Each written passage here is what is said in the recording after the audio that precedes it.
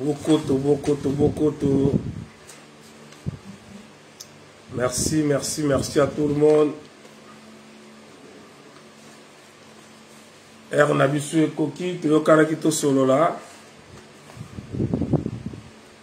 merci merci à tout le monde ndeko akoti opartage video ekozala malamu mingi opartage video merci pedro samuel kabola video na bandeko tomeke mpe kosolola masolo ya fumu kimbangu merci na ye tosolola ndenge na prometaki biso ke nakoya kosala video euh, ça fait un bon temps na banda yesu kosala video te sur la culture congo sur la culture africaine bolimbisa moke parce que mwa makelele ezali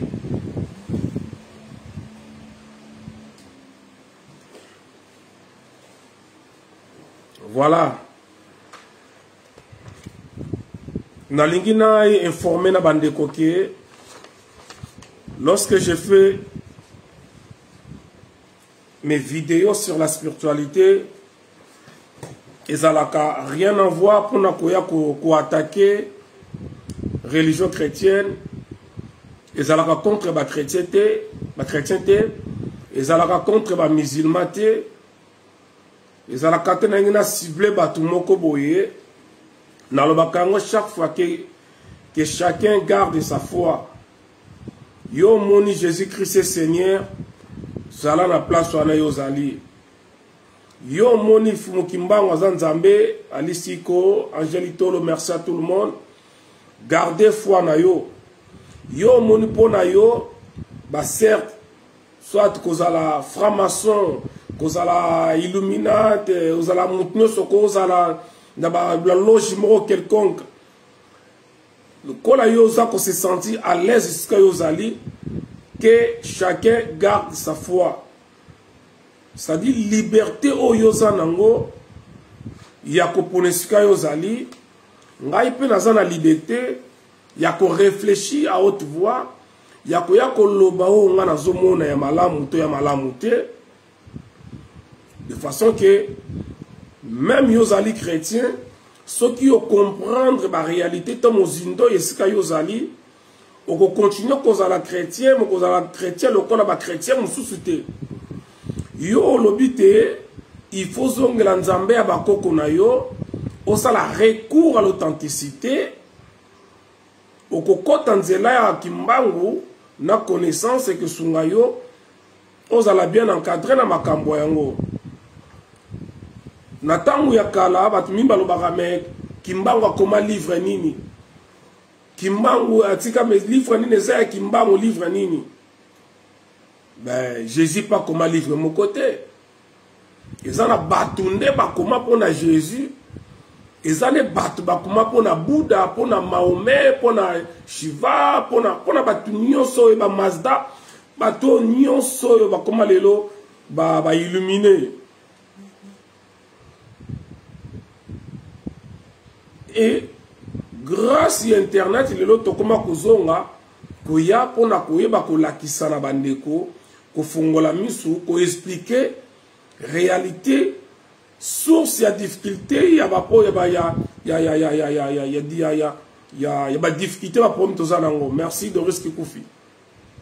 donc video oyo yo na ye tosolola sur la spiritualité africaine parce que le monde entier tout ce que vous voyez comme spiritualité na mokili oyo eza na origine yango na afrique sujet eza nini lelo j'espère que na komi wana d'où provient ma l'air d'où provient tout tout tout nalingi tosolola livre bible tokosolola bible mais quelle bible tokoyeba yango na kati ya ya video oyo eske ezali bible oyo kaka totangaka yango bayaka na yango ntango bamindele bayaki merci gabriel malanga bonsoir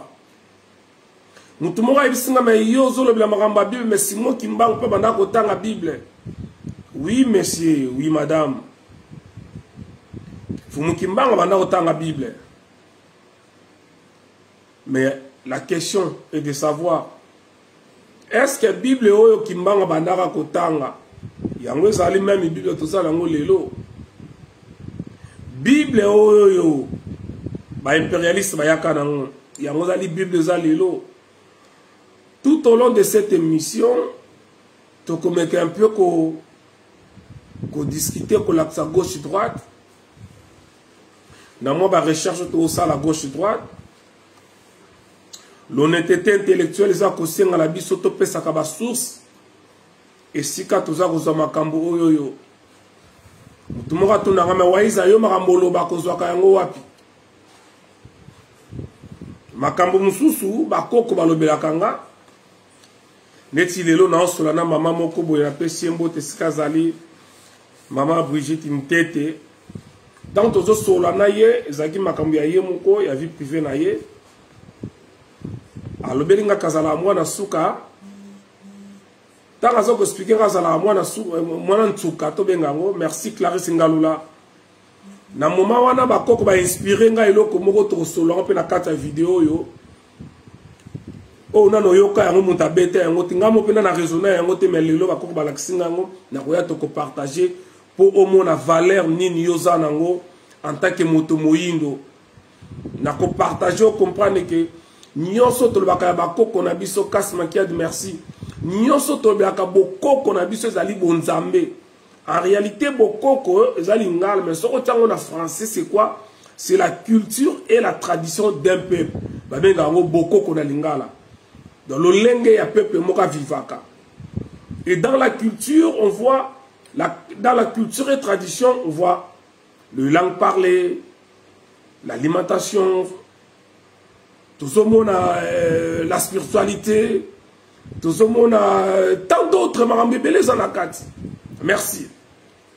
donc lelo tosola makambo ya bible sur la bible mais tokoyeba yango ezali bible ya nini mais yambo te nakota na bible oyo nalingi nalobela lelo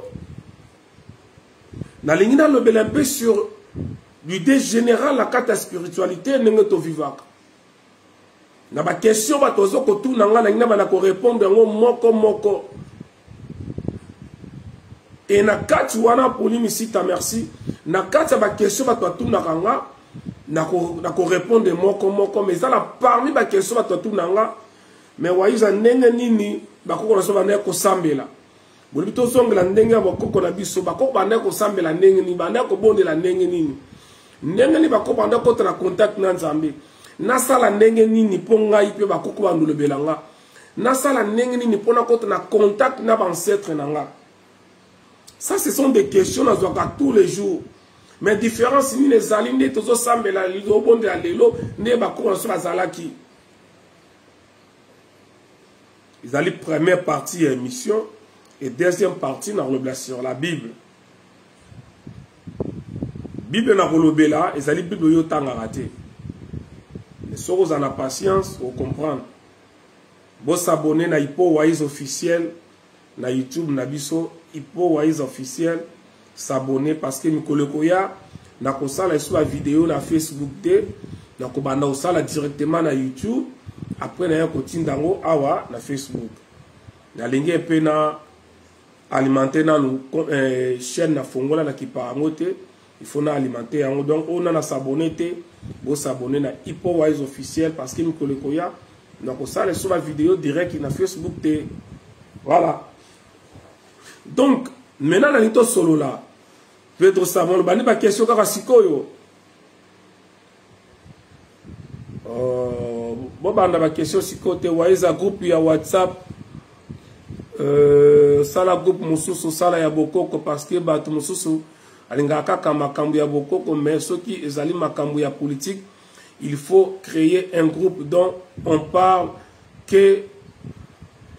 que pour euh, c'est pas mon assistant autant en route voilà na comprendre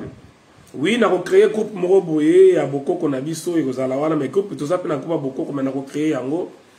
nayebi ke na bavideo na nga mpe eza na bato mosusu basepela komona nga kaka makambo etali politike soki bandi kobeta masolo ya ya robert powell azalaka na angleterre lataka na kingo na bango otouche bango ekomi baproblème bamosusu bazala balingaka ngai kaka nabeta masolo ya, ya bokoko lokola bapetro samuel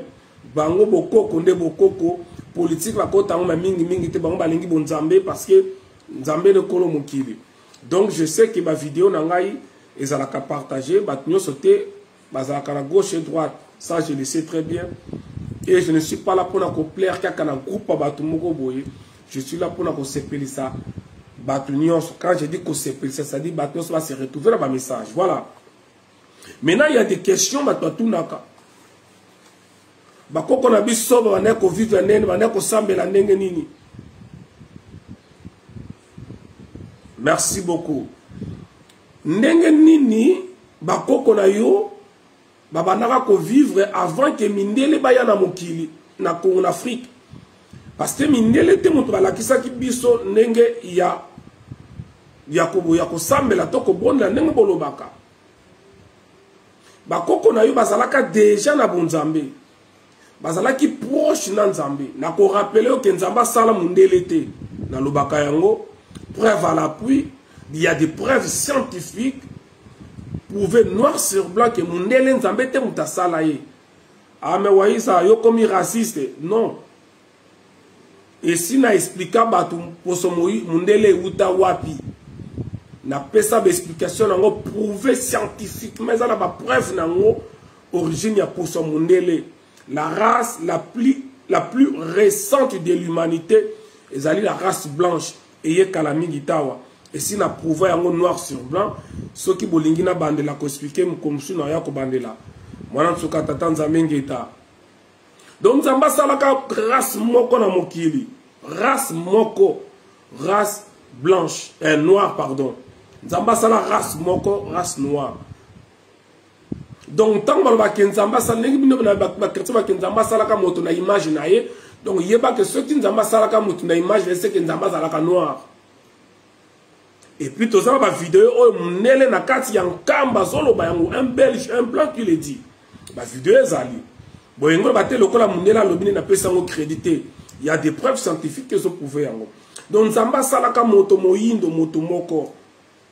d'ailleurs soki botangi na livre ya esdras esdras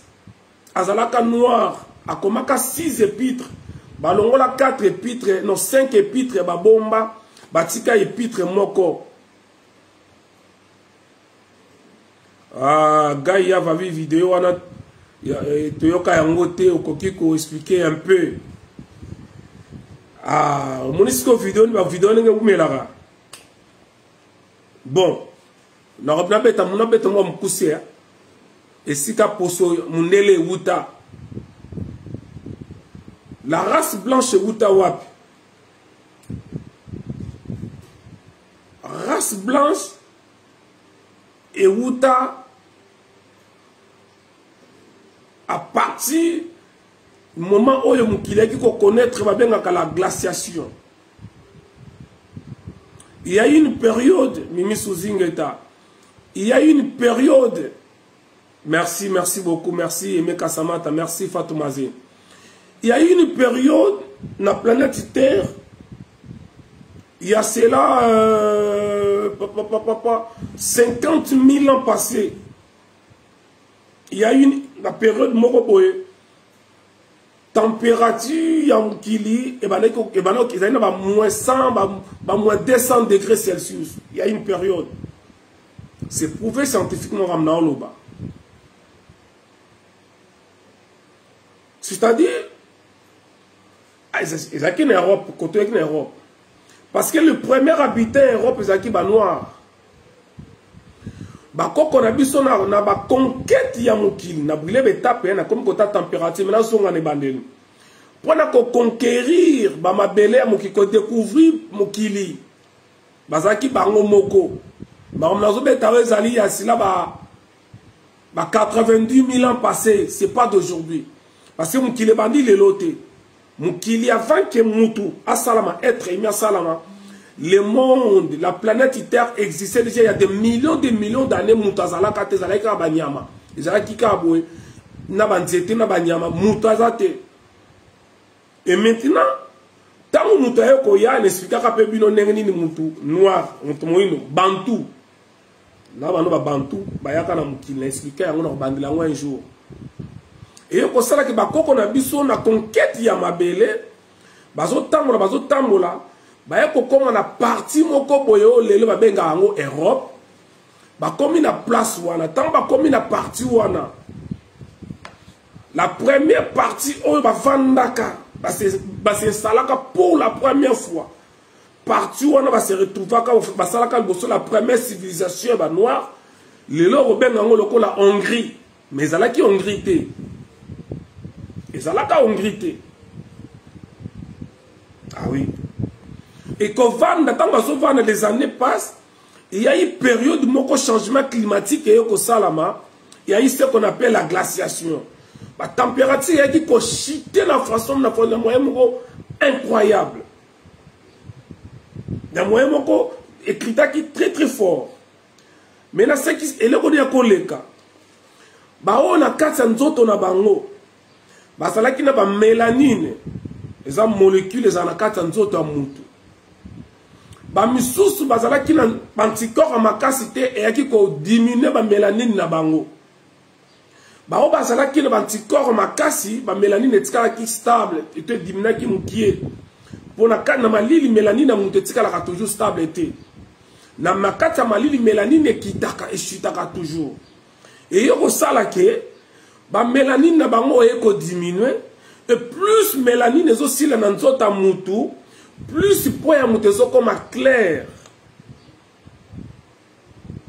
or melanine ekomaka ebele na nzoto ya mutu kaka na moi a partir ya vitamine d na moi plus ozozwa moi mingi plus melanine na kati ya nzoto na yo molekile wana eza kobakisama ezomata e soki molekile emati mingi ozokoma plus noir d'ailleurs c'est la raison pour laquelle bomonaka na afrique bapays nyonso moi ezalaka makasi bazalaka noir koleka soudan liberia mauritanie bato mosusu ba sénégal bokomona bato wana bazalaka noir koleka parce que bazali plus na moi makasi bamelanine na bango ezalaka eyaka ebele mingi yo moto olanda yango oza na europe bokoremarke ke ata ozali mwindu soki okei na afrike osali un mois mokolo okozonga okoyinda ata okomi noir makasi lokola bango te mokomona teinture okendelaki soki ozongi eza lisusu ndenge wana te pourquoi parce que ozwi moi ebele obakisi orenforce bamelanini na yo c'est scientifique ce que je vous dis e na moment wana lokola malili elekaki mingi babandaki bayaki koperdre bamelanine na bango e ce qui fait que moto ya poso ya c'est-à-dire ngai naza na teint clair soki nakutani na mwasi moko aza na teint clair toboti bana tokobota bana oyo bakozala na teint clair koleka biso parce que bazali bana oyo yo tokotransmettre bango makila oyo ekozala na melanini encore beaucoup, beaucoup plus faible koleka ya biso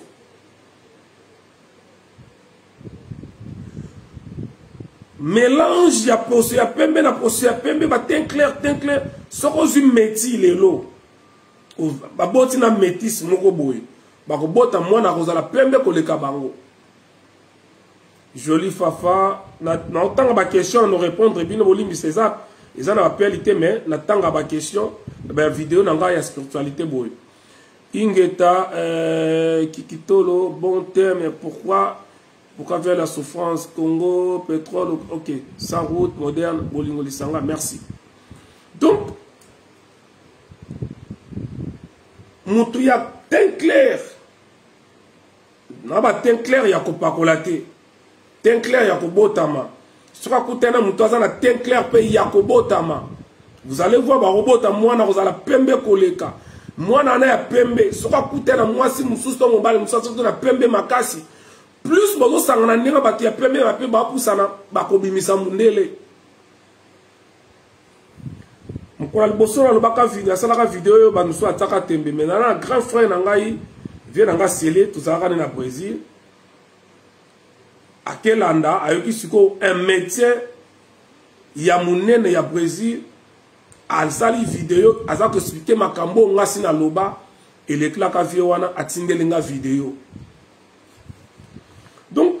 race blanche ebima à partir ya glaciation à partir ya changement climatique oyo esalamaka bakoko na biso bapentaki bakantite ya melanini na nzoto na bango duku bakomaka bapembe bango nyonso bapembe te mama mpo babaluki mondele non mais progressivement eza ndenge moko lelo na egypte na egypte lelo egypte ya lelo eza mpasi omona egyptien ya moto moyindo or egypte ezalaka ya banoire les égyptiens bazalaki banoir mais lelo est ce que omona mosusu baégyptien ya banoir ekoma rare lelo ekoma soki omona égyptien noir ondenge azali étranger or ke mokolo mabele nde noir c'est justement ce qui se passe na égypte ya lelo égypte tomona lelo banoir bazalaka lisusu te c'est exactement oyo esalamaka lepopo mondele abima kota na egypte lelo okomona pomona noir égyptien d'origine égyptienne donc un vrai égyptien ya noir bakoma ya koluka ok bango nde bakolo mabele bakoma rare parce que yai après na moment wana discrimination ebandi babandi kolongola banoir ekomi babandi kofinga banoir babandi koelimine banoir koboma bango ti eye kosala ke europe etikali ya bamindele ndenge egypte maroc algérie libye tunisie ekoma ya mindele bon tobenga bango mindele po arrete baa bamindele te mai bakoma na po wana tomona bakoma plus na po blanche donc ce que vous voyez na afrique du nord exactement yango mpe esalama na europe mobimba lelo bango babeta lisolo ya bafaraon faraon ya zola molai c'est faux faraon azalaki na, na, na zolo yaki kase lokola yanga na yo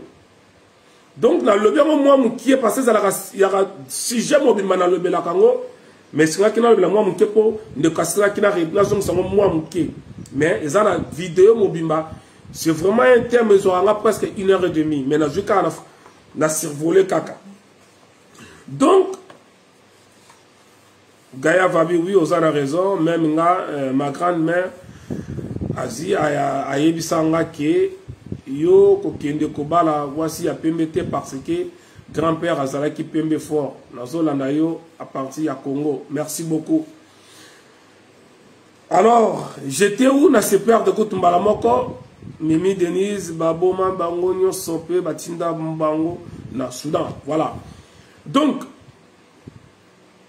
je parlais sur l'homme noir euh, je me suis perdu na question na bapozaki ngai voilà merci deki deki donc l'homme noir en réalité moto ya liboso azalaka na contact na nzambe abanda kovivre na nzambe nzambe asalaka mondele te nzambe asalaka moto moyindo me na bakestion totunaka sikoyo soki nzambe moto asalaka moto moyindo seke bakoko na biso deja bazalaka bayebaka deja nzambe soki bayebaka nzambe babanda kosambela nzambe ndenge nini ndenge nini babandaki kosambela babanda kovivre ndenge nini lelo ndenge nalobela bino différence entre croyance ya lelo na croyance ya kala kosambela nzambe to kobondela nzambe lelo eloko oyo ezosala différence ke lelo tozala susu na nguya te par rapport ya kala pourkui bakoko na biso bazalaki capable ya kotransforme mesa oyo atransforma ngo na mbwa ma lelo toza na courant wana te mpe tosamola tolinga nani ayaki kolakisa moto moyindo likolo na se j'ai pas compris la question mais nakoluka na se expliquer na kati donc bandeko lelo esalaka mpasi ozomona moto alobi ke ye azali chrétien ye abangaka nzambe ye akendaka eglise ye azali moto oyo ayamba ye jésus christ comme seigneur et sauveur me kokamwa ke moto wana à chaque fois soki aza na problème asalaka secours epai ya pasteur na bango ya kosambelela ye moto wana alobi ke ayamba jésus comme seigneur et sauveur ki ayamba jésus mais à chaque fois akomona vie na ye ezalaka toujours na baproblème solution ezwamaka te akendaka baeglize mbulambula apesaka baofrande asalaka tout mais vie na ezotikala ndenge moko okomona paster ntango eglize ebandaka azalaka na makolo 5 ans après pasteur akoma na ba voiture akoma na ndako tutu mais bandimi na wana bazalaka toujours na vie bazalaka nango c'est quoi le problème mama moko tozosolola na ye ayebisi ngai à chaque fois nazosambela me nazozwaka solution te chaque fois so nalali na butu ata nasambeli ndenge nini bandeko bazalaka koya koatake nga a chaque fois so nalobi ta ndenge nini namona kaka bato moko bakufa kala bazoya koatake ngai papa waiza nasala nini mpo na butu nalotaka bandoto ya mabe te nasala nini mpo na molimo oyo elata ngai elongwa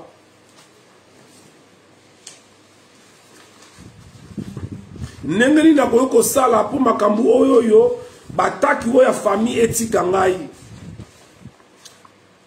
bref merci dekideki bandeko na nga ngai depuis mokolo natikaka kosala prière avant nalala nalotaka lisusu bandota mabe te depuis mokolo nakata kosala prière avant nalala boya nanga mpe nazoba depuis nakata prière naloba te depuis nakata kosambela ya la différence entre kosambela na koprier kosambela eza mosusu afin kosambela eza mosusu kobondela eza mosusu kosambela na français ezali invocation kobondela na français ezali koprie nafongoli parenthèse na kozongela yango apres na continue na makambo na oloba nakotuna yo question pourquoi yo osalaka prière avant olala pourquoi yo osalaka prière avo olia eloko pourquoi soki omoni place ozokende place moko olinga kosala prière motu moko ayebisa ngai nome nasalaka prière parce que nalingi nzambe aprotege ngai na butu soki nalali nasalaka prière parce que esika nazokɔta nayebi motema ya moto te nalingi nzambe aprotege ngai mai nakomela nzela nakotambola motuka nakomata nayebi ke nakosimba volant milimu mabe ezali il faut ke nasala prière baange ya nzambe baprotege ngai na nzela ngai nakosala nasalaka prière parce que na mosala tozokende toyebi motema ya moto te collègue mosusu oyebi osali eloko te mayina yo kaka bref moto na moto akopesa raison ya asalaka bapriere me ngai nakoyebisa yo boye eloko ya liboso etindaka yo osala priere devant quelque chose ezali kobanga c'est la peur c'est la peur oyo etindaka yo avant olala osala prière parce que otie na motu na yo ke soki olali demo moko boya koluka yo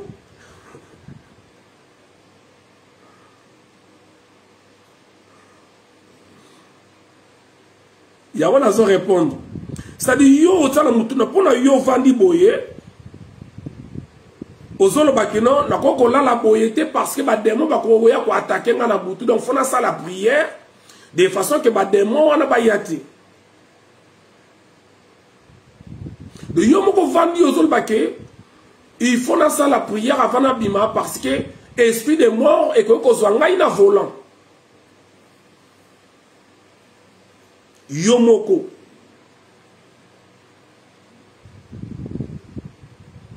e okoya kocomprendre mokolo oyo osalaka priere te avant olala eh? mama papa olanda nga ndeko mobali remarke osalaka prière mingi avo olala mokolo oyo okosala prière te olotaka bandoto ya mabe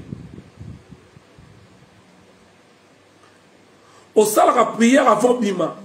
mokolo oyo osalaka prière te soki obimi likambo moko eyelaka yo apres moko vanda olobi me ah, ah oui nabimaki presse presse nasalaki ata prière te mbala moko soki ozalaki okangi misu nzambe natiki journe na maboko na yo emili obandi kosambela parce que esprit ngo eyebisi yo omoni likambo oyo okutani nango parce que avo obima osambelaki te opriyaki te yango okutani nango olali boye paulo te ndoto mabe nalalaki sana priye obandi kopriye ntango kopriye mpe ndenge wana omoni olali mpe bien biso tu toleka na place wana biso tu me na kospiko nini esalamaka pourkoi ezalaka bongo donc automatiquement okomi esclave automatiquement okomi esclave ya bapense na yo ya egregor oyo osala na motu sadi yo moko oza wana omitie olobi ke soki nasambeli te bademo bakoya koatake nga effectivement okomi oblige osambela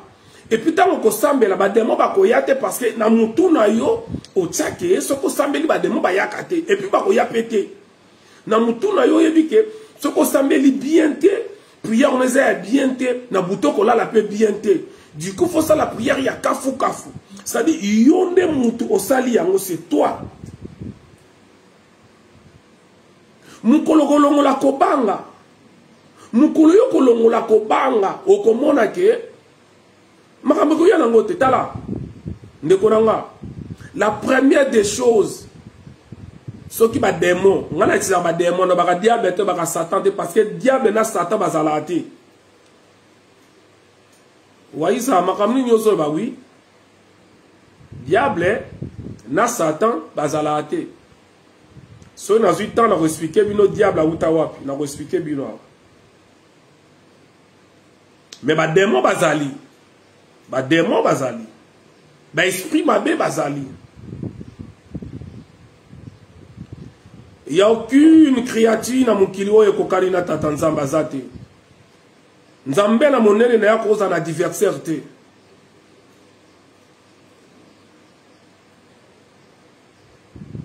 soki diable azalaka seke diable mpe azali omnipotent aza mpe omniprésent ive kolosa merci sadi na gabon olobelaka diable na congo diable na zimbabwe diable na singapour balobelaka diable na chine diable na paris diable na tanzanie na kasumbalesa na brésil partout balobelaka diable partout mpe balobelaka mpe nzambe donc yo ozolinga oyebisa ngai nzambe oyo yanga azali omipotent omniscient omniprésent diable mpe azali omipotent omniprésent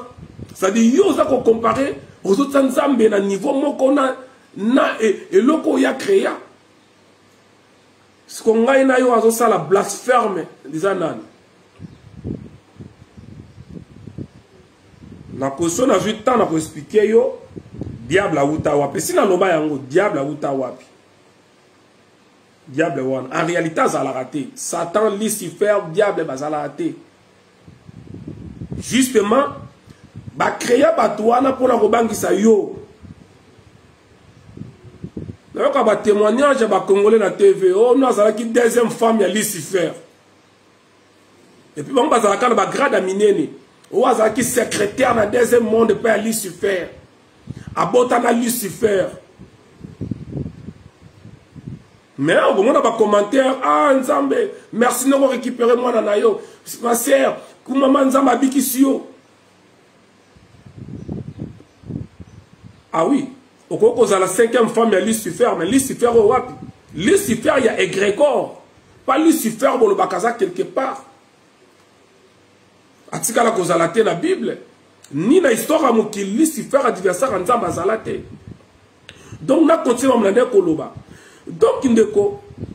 eloko ya liboso bademon basalaka soki badestabilize motu moi j'utilise les démons pas les satan le diable eloko ya liboso bademon les esprits maléfiques basalaka les anges déchus basalaka gael ya batuna sikoyo kimbango aza nani mpe awuta wapi tokosolola yango so na bandi kosangisa banini mosusu na kobebisa fil didie na ngai na korepondre yango na suka eloko ya liboso bademo basalaka remarke eloko moko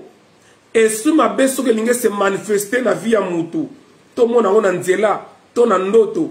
eyaka toujours na forme moko ya mabe oyo moto akoki kobanga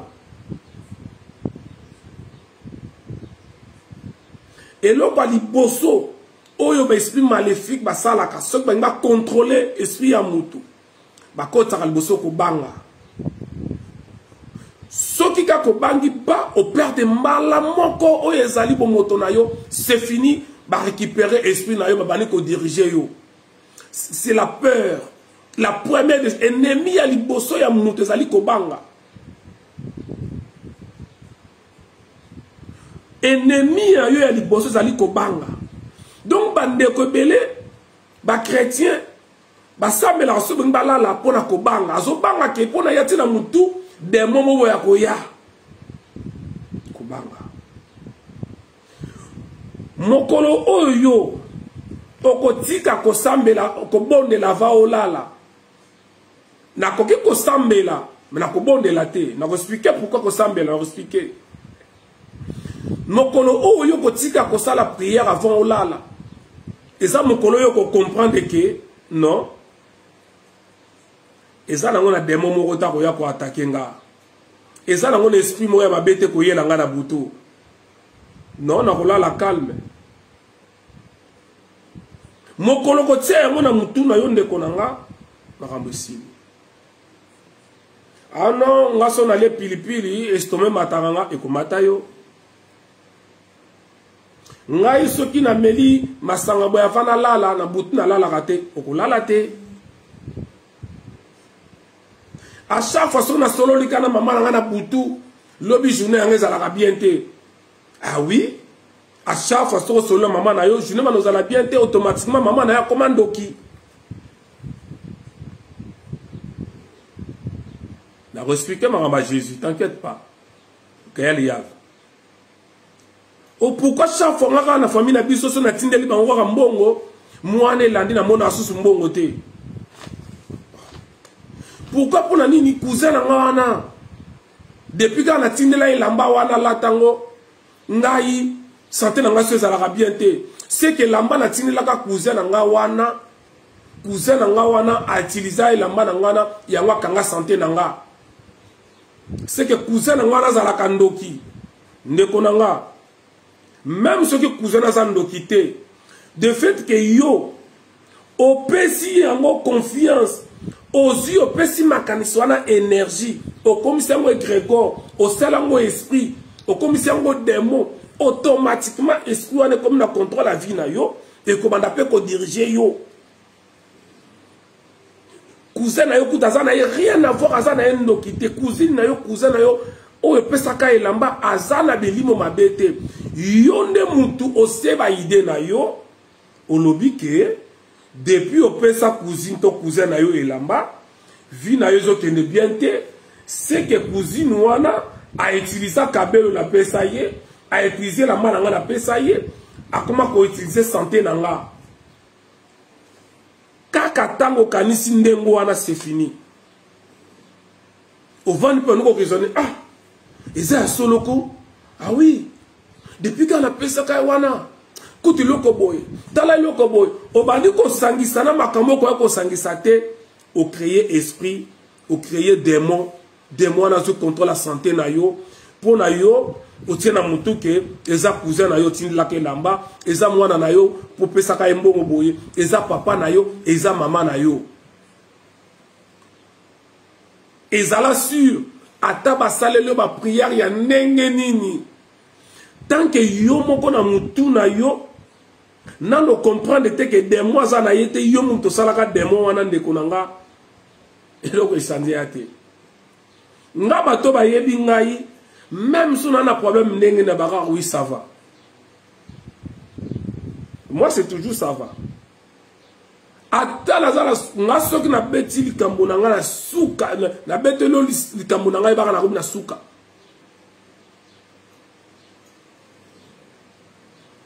nga soki naye kosenga yo aide ndeko na nga kokanga motema te yebaka mpenza kino ekomi serieux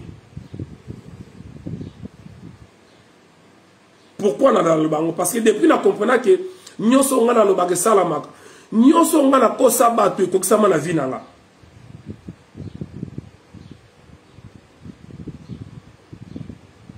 nyonso oyo nakosa bato ekokisama ya mabe na ya malamu ekokisama na vi na nga depuis wana so ndenge nakosa nakosaka moto positivement mpo ekomela nga donc nakoma kotiza yango forme ya kobenda eloko so naza na bezo eloko boye fo nakosa deja bato nabandi kokosa yango bato nakomi ko forcer lokuta mpo nabenda eloko moi c'est comme ça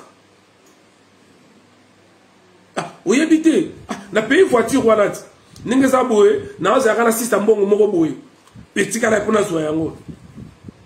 ah, voiture wana ekala te naozwa yango ah. nasombi yango nanu te me nazokosa parce que na comprenaki plus nazoba likambo plus naobenda likambo ndenge moko na yo mais ya un moment donné na kati ya butu olie nasala prière olie nabonde nasambeli c'est-à-dire yo moko ndoka liboso marguerita pedro nalobi awa ah, ke nakosala nakobonda te mefo nasambela pourquoi nakoki kolala na butu namoni baatake ekooya e, nayebi te bademo bayaka te baatakaka te osi baatakaka elie elika bendel wete nalobi te ke bademo batakaka bato te si batakaka mais ekoki ngai en tout cas ndeti ane oyo bande bandi ane oyo nana loti mabe te ane oyo na bango na nkombo ya bana na nga banda ane ebandi na naloti mabe te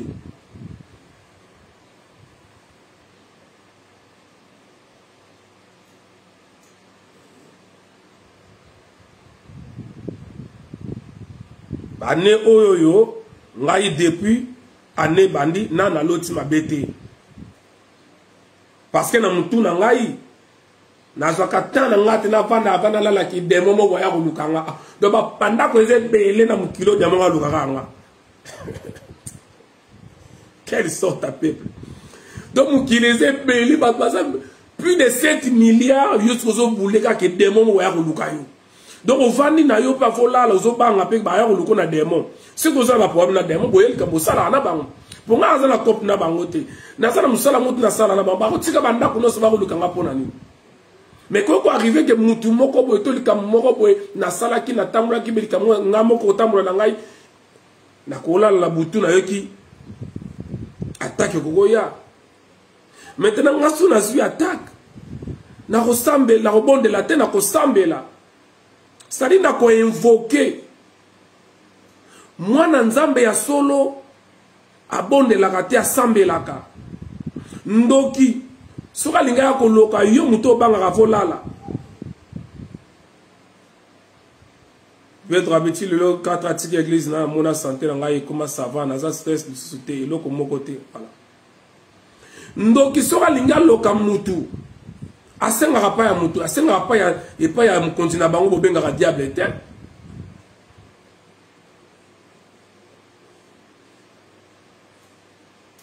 bademo so bango baya koatake mutu basengaka autorisation pa ya mutu te basalelaka pouvoir eza kati na bango me yo ozolanda ngo oza na pouvoir wana oza kuna pouvoir koleka voir même na pasteur na bino omonaka pasteur yo kutu otambola ntango mosusu kotambolaka bien koleka pasteur wana me lokola oza na kati na oza kobanga na kati oza kose sous-estime ozomona kaka ke yo oza mokie pasteur wana moto aza monene ben oui pasteur wana kozala monene likolo na yo mobali moko alingi asimba yo na nzoto te kosimba ngai na nzoto te ti tokobalana me paster soki asimbi yo na nzoto ozomona no paster maboko na ye ezali ya molimo mosantu paster maboko na ye ezalaka ndenge moko na ya na ya david na ya josue na ya abraham donc paster akokosimba nzoto no ndenge alingi parce que maboko na eza na onction divine me garçon moko soki asimbi yo maboko na ye moye te parce maboko na ye ezali na, na makila akosimba yo te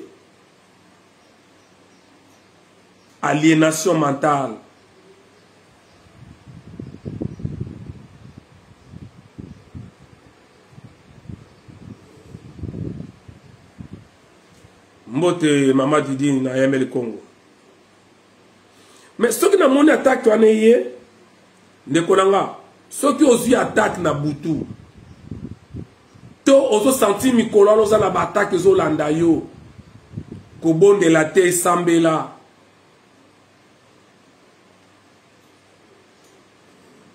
sikoyo mbuta waiza tokosambela ndenge nini kosambela ezali oyo tobengaka na forme mosusu kosaka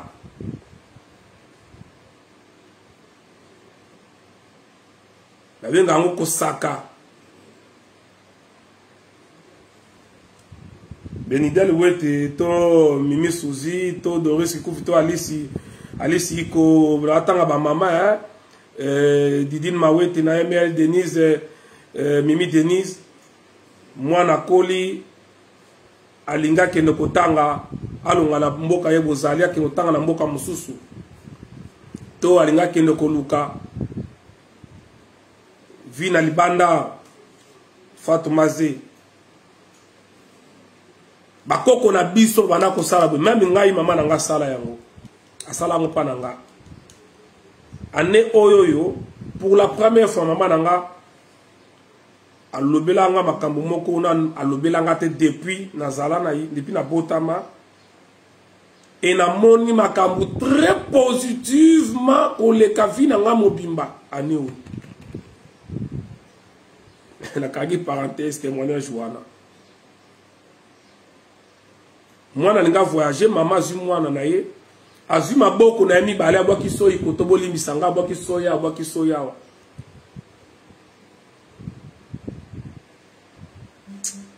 etili ngai nafongola parenthèse moko boye merci na bakoko na nga pourquoi babwakaka soyi pourquoi pourquoi bakoko na biso bamama na biso bazopambola yo na basoyi bakilo soyi pu babwaki bato mabokende liboso pourquoi Pourquoi soyi Pourquoi Pourquoi na kati ya Bible na bino botangaka Jésus na film oyo ya Robert Powell afandaka na Angleterre awuta kufa na 2016 atournaka abikisaka veugle atiaka soyi na mabele asala yango potopoto apakoli ya miso pourquoi soyi na mabele nakangi parenthèse osolola mokolo mosusu soki nabandi koexplike nyonso emission esila mpe te donc mwana alingi avoyage mama azwi abwaki soi pupupu na kolobela mama soi mokolo mosusu suka na nga suki te abandi kosaka abandi koloba mwana na nga noble eli mwana na nga petro samuel nzela oyo ozokende nyonso yo kosala ekokende liboso nyonso moto akobundisa akokutana na ngai moto akobundisa akokutana na, na, na biso baboti na yo biso baboti na yo tosala moto mabe te moto mpe akosala bino mabe aza te ça ma mère me dit ayebisa ngango chaque fois mama na ngai ayebisaka nga ngai nayebi likambo na moto te nasala mwana moto mabe te ya ngai mpe bana bakosimba bango te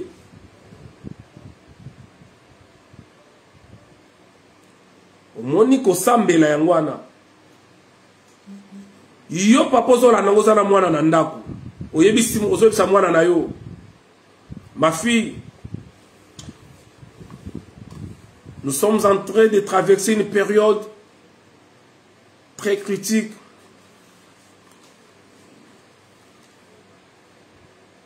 Il n'est pas bon pendant cette crise sanitaire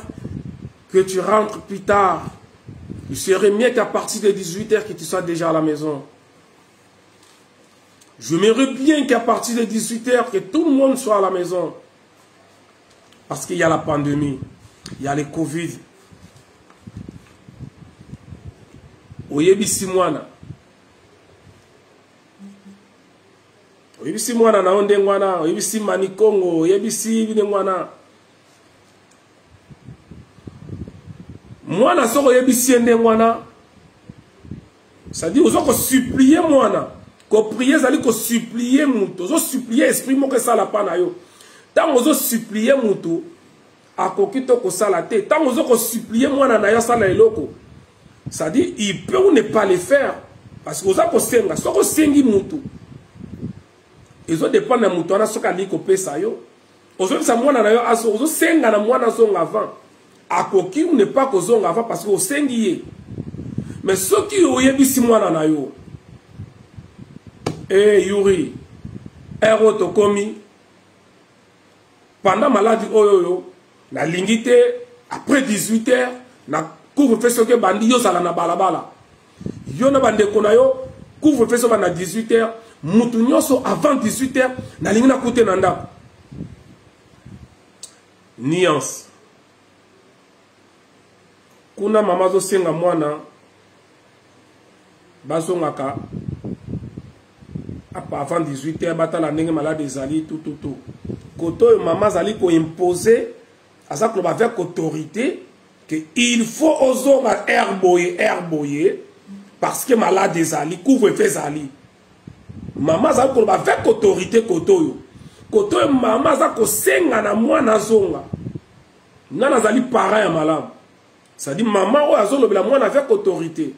cestadi aza koluka azotuna avi na yo te ke omoni ndenge neyasi okoki kozonga te ozongaka avant te aza koyebisa yo il faut ozonga c'est exactement kosambela na kobondela kosambela ozali kosaka ozali koordonne na baesprit ozali koordonne na eloko moko boye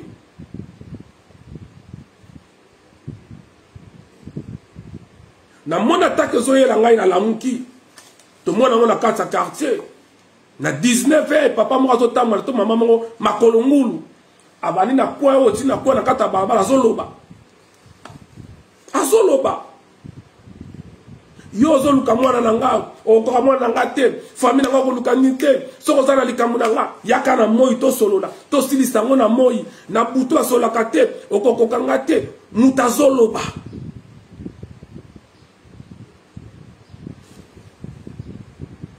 Voilà pourquoi ba chrétiens bazo bazo vivre kaka pasi. Ba démons avant ba ko attaquer ba senga raté. Mais yo pour attaquer ba démons oza ko senga lisusu quelque part. Mais entre temps la Bible ozo tanga ba biso que vous êtes le petit Dieu. Na Bible na Yobo ba biso que je vous donne l'autorité de marcher sur les sur les serpents et sur les scorpions. Rien ne pourra vous nuire. Na Bible na bino botangaka. C'est exactement ba koko na so bazaki ndenge wana. Kosambela musu ezali naza na besoin na loba te. libuma esala nga mpasi nake na libanda nazwi makasa ya mapela ya sika makasa ya mapela ya sika oyo ebandi kobima sika nabandi kolia yango makasa ya pamba kisombe ya libumu mpasi yango wana cestadire de fait ke ngai na reconnaître ke makasa wana eza e, ebikisaka libumu sisama na libumu automatiquement nakotisi na invoke nakotisi esprit positif na makasa wana ezalaka deja nzambe ye wana la nature nazwi na lie naza besoin oimpose nga maboko te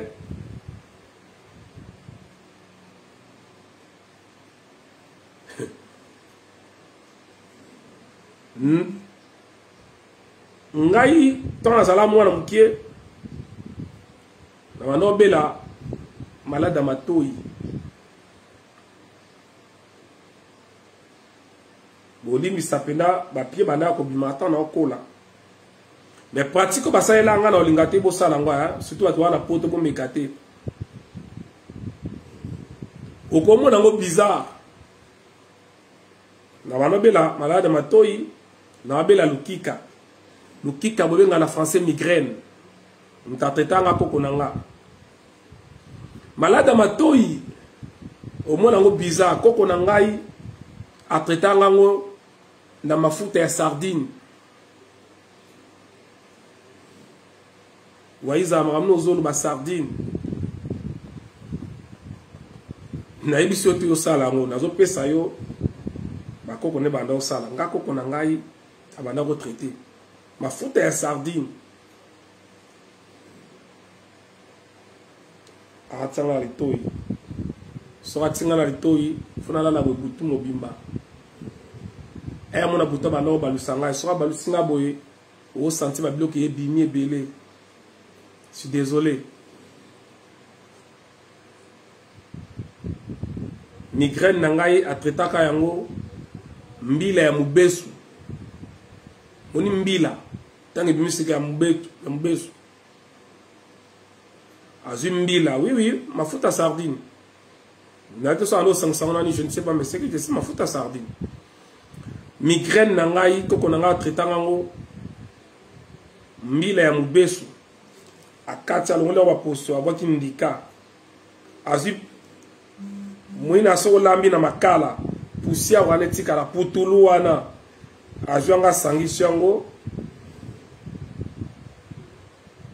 aofina yango boye baposa mbila wana eyebisa, eyebisa mafuta mafuta wana na pusiere esala esali lokola pate moko boye bapakola nga yango awa bamama wana bazalaki ebele na congo me bakokaka bango nyonso bandoki donc makambo ebele ya koloba la dusi me botika nakende rapide parce que ah, natika na 20 minutes na kata barme ebele baquestion boza nango bogarde yango tokobengana ata après naye nalobela likambo deuxième partie ya video oyo boyinimisa ngai na kati makambo etali kosambela na na kobondela ya tellement de choses appareil là dessus mais naza oblige nakata yango parce que ezwaka ezwaka video mobimba où est ce que je mis bolimbisa nakata yango makambo eza ebele na kati mais vous allez voir mpo na koya koboma biloko oyo nyonso bokoko na biso ifalaki baya na bible na 2018 exposition moko esalamaki na états-unis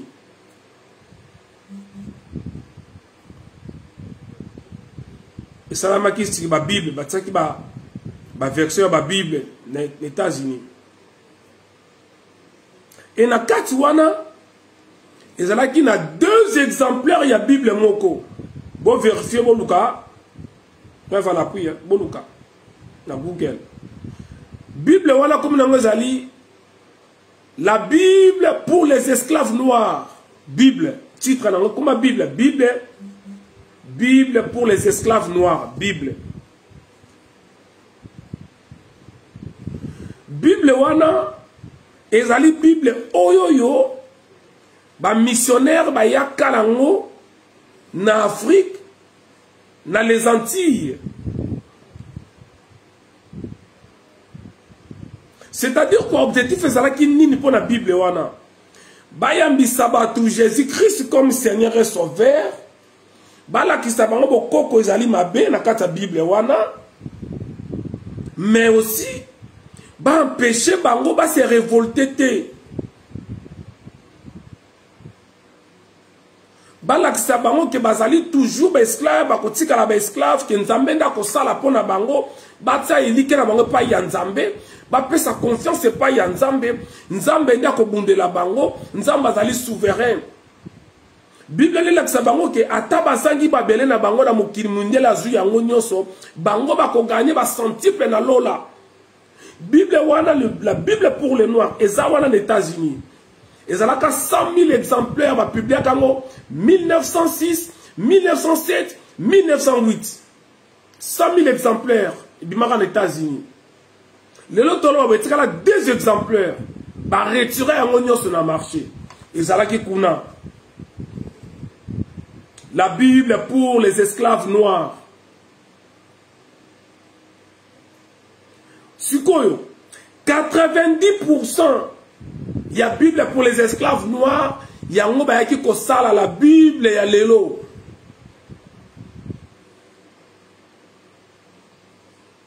90 eza wana na etat ezalaki na états-unis botuna bato bayebi exposition esalamaki la bible pour les esclaves noirs maintenant na kati ya bible wana ya kala baverse nyonso bandaka kolobela siki les esclaves oyo ekoya kopesa baesclave kanda balongolaki yango baye kotia yango na bible ya lelo me ntango wana balongolaka yango ke jésus christ ayaki mpo na banoir ayaki mpo na eh, bato nyonso baya liberté na baesclave balongolaka yango merci eli elikia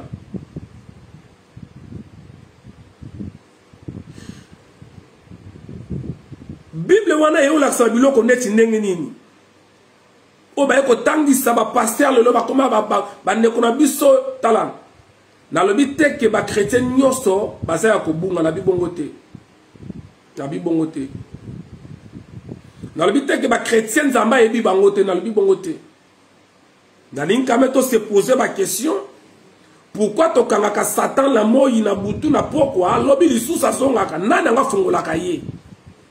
nakozonga likambo ya bible mituna question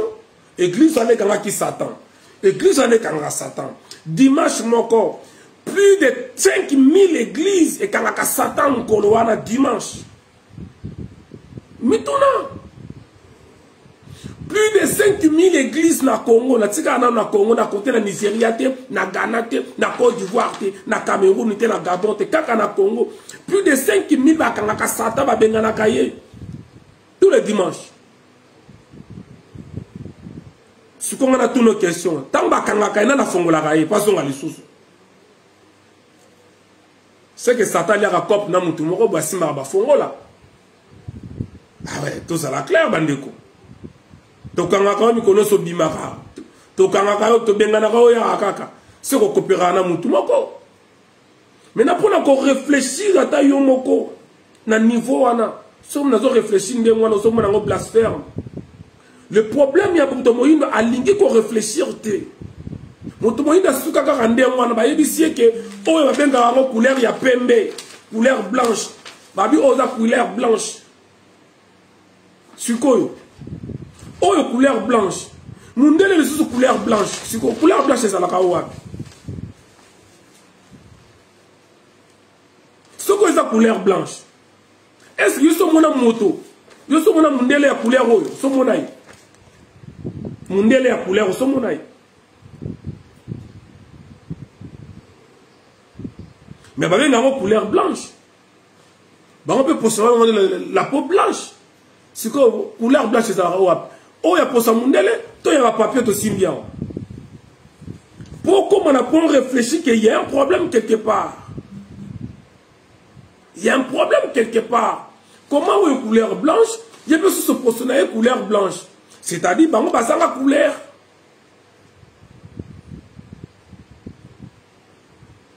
Ah oui, de qui, de qui Satan va zonga na eka kaseka sala. Satan ya rakop na mutu. Pour nous réfléchir qu'il y a un souci quelque part. Est-ce qu'il y a un problème Ah ouais, ils allaient bola na eta bunga nzela. Oh, yo mutu bunga nzela to zaka nzela. Pour réfléchir. Ndienga na zo réfléchir, c'est un problème. Et la Bible, wana, la Bible pour les esclaves noirs. Yango les aba vexé, oh, bah, yela batu que non. Soko siliki kolala la kandate. Pourquoi? Parce que mundele, en réalité, la Bible et les religions, et yaka juste pour na kosokola, ko protéger ba crime ya mundele. Bon, se révolter, te botika nyon, c'est pas yanza, mais c'est ça l'objectif. Nekonanga. moto akomaka chrétien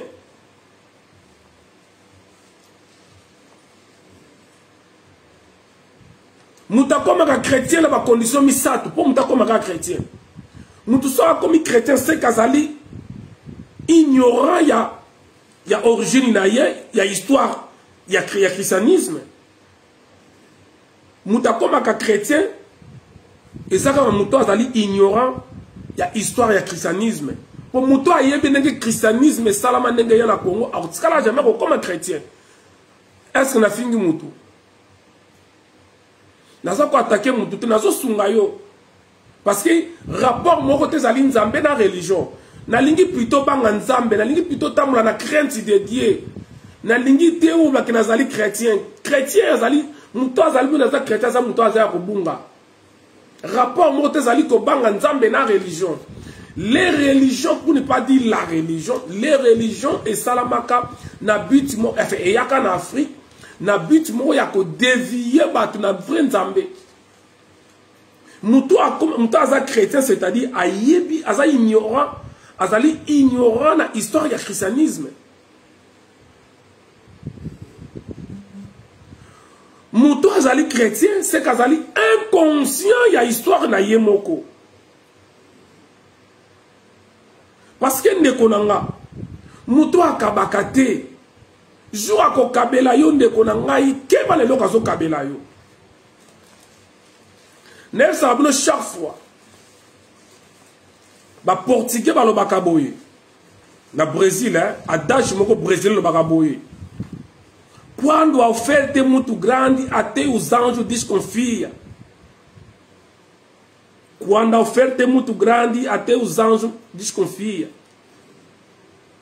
na français ngo baboye lorsque l'offre est trop grande même les anges se méfient yo soki omoni telefone ekotekama na 1000 dollar na 1000 euro baotekela yango na 60 euro komona yango teke ezali chance na yo voiture ekoki kute 15 000 euro yo bazotekela yango na 1500 euro koloba teke nzambe apamboli eza chance na yo keba Na pesi bino exemple pourquoi? Comment expliquer bato bayaka na Afrique? Bakata ba mama na nga maboko. Bakata bango mitu. Kaka pona bandima Bible. Baboma bango. Basalo bakowosala. Pona bozwi ya Congo. Baboya tozala na kimia. Pedro Samabi ozoloba ndenge ndenge ba angolais nazokanisa oza angolais deja babenga ngai musombo babenga ngai deja musombo oyebi te parce que alobaka portugais po ngai alobaka portugais koleka na bangolais eh, nalobaka portugais koleka na bangolais parce que natangi na brésil nasali université na brésil donc portugais ya brésil a rien avoir na angola angola esangana na kimbundu na umbundu na kwaniama na, na fioti yanga sikoyo nabaka portugais ya portugais nafandi mpe na angola me natangi na brésil donc kote kuna quand je parle un brésilien kasanga na brésilien so batali nga oh, yo nde ozalaka brésilien parce que intégration okoti na kati ya mboka wana olati nyonso ya bango donc mpo na bozwi ya congo nakomi presse mpo nakata ntango ezokende molai namoni video eza molai sujet oyo ezwangaka molai mpo na bozwi ya congo mindele baboma yo basala yo nyonso eh. donc yo ndongo oza wana oza sur ndenge mpena ozala wana oza sur ke mundele akoya kolakisa yo lola est-ce que oyebi ke na kati ya congo bacarrière minier esika baminerai ba ebimaka ezalaka mindele bacontrolaka est-ce que boyebi yango na kati ya congo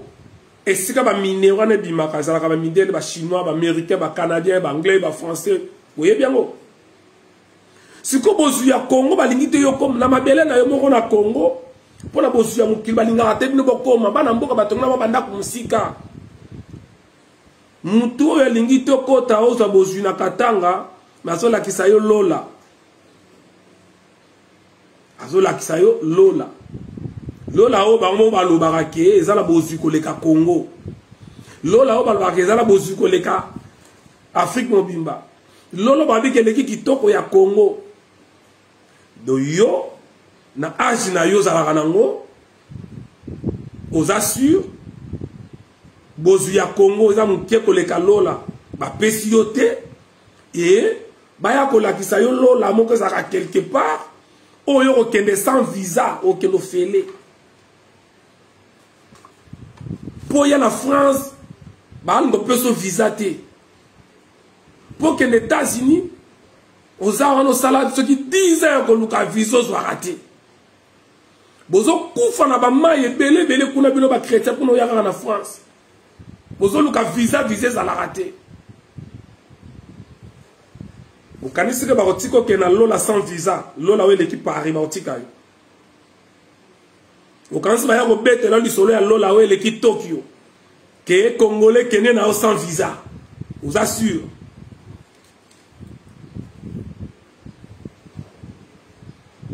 mais pourquoi vous comprenez que ezali l'histoire oyo bamonta ya komonte justement mpona badevie concentration na biso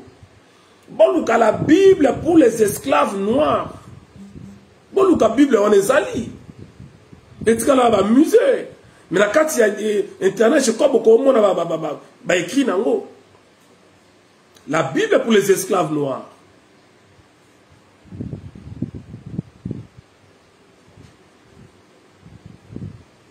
Voilà souffrance ya moto moindo. Voilà pourquoi nous continuer à souffrir. To pesa nzambe mo Congo. Ba maman bana ko salisa mbasu bokanga bango bandoki. Bande konanga ya basi.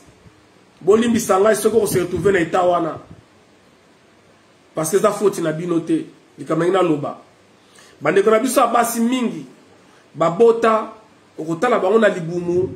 esala banzela banzela tobengaka banduta c'est pas pour les insulter eza mpona koseka bino te de toute façon biso na nga na age nga nakoma nango soki nakutani na mwasi moko aza nzoto na ye ezali eh, na bandenge nini ezali parfait aseka mineur parce que fonaki epuisant parenthèse est ce que nafingi moto donc je m'attends toujours que nakoki jamais koreve nga na age na nga nakutana mwana mwasi oza na nzoto lokola mwana 14 ans seke nakomi pédophile mpona olakisa ke nazopartage na bino mai nalingi naloba nini na kati wana wi eza mpe na basi mosusu aa mpe mokolo mai abota na ye mpe aza na banduta te mais parla nalingi nalobela nini lelo bamama na biso mingi abota libumu ebebi ye boye parce que totiki bokoko na biso waiza na kobota so etali bokoko oui madame etali bokoko oui madame bokomi kobota selon basiance ya mondele na yo moto oboti na poto hôpital ya kitoko okebota na césarienne mama na biso moko aboti na suka kasai kuna sans césarienne mwana kitoko mama na biso moko aboti na suka kuna na basankusu akobota kuna na moba aboti na suka kuna na jolu aboti kuna na kati kota, kota, kota bantimasi kuna bakasongolunda na kati sans, sans anesthésie aboti mpe na césarienne te abota kutu bana ebele koleka yo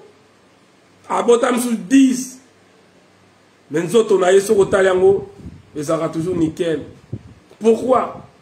parce que ye aza na na bokoko na ye ntango aboti ayebi makisi matiti nini alotya na mai abanda kosokolela nzoto na ye ayebi ayebi mai na banda azomela ayebi nini anopakola na libumu na ye motolu ya mwana ya mosusu bakata yango kaka na mbeli to na gilete me soki otali motolo ya mwana wana oyo ayo ya mwana wana tala elenge ezoloba eloko te lelo bokoma ba césarienne ekoma rare mwasi abota normal kaka césarienne ezodebisa bino eloko te malade ba avc toyebaka yango te na afrique je vous jure ngai nayebi bamalade ya avc na poto ngai nayebi yango na poto nayebi yango na poto baloba ah, malaria célébrale oui ah malaria cerebral wa malaria cerebral toyebaki yango toyebi yango malaria selembao ah malaria selembao wana toyebaki yango mais avc toyeba yango te bazaimer na bino babelaka awa na afrike yoso nayebi te na afrike oyoka moto abelaka zaimer bondo oyoka yango rien tala lelo bazaimer ba avc nga mona aza wa na 2019 avc ebetaki nga 2019 le 5 mai 2019 me lokola nazalaka mvuluzi wana kutu na ebandeli na bandi kokɔta na mozindo malembe malembe nazwa mbunzu oyo nabeta yango na porte porte etoboka mbunzu na ngai epanzana ngai oyo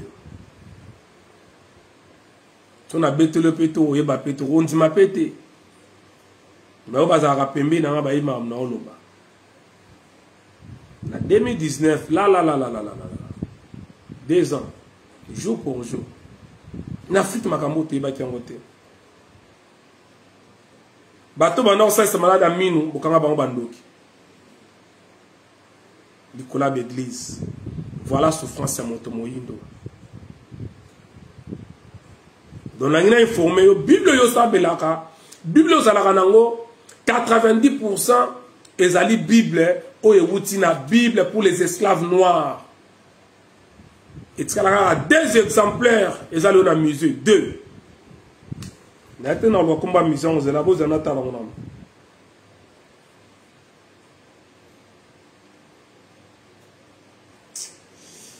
naluka no nkombo ya bible wana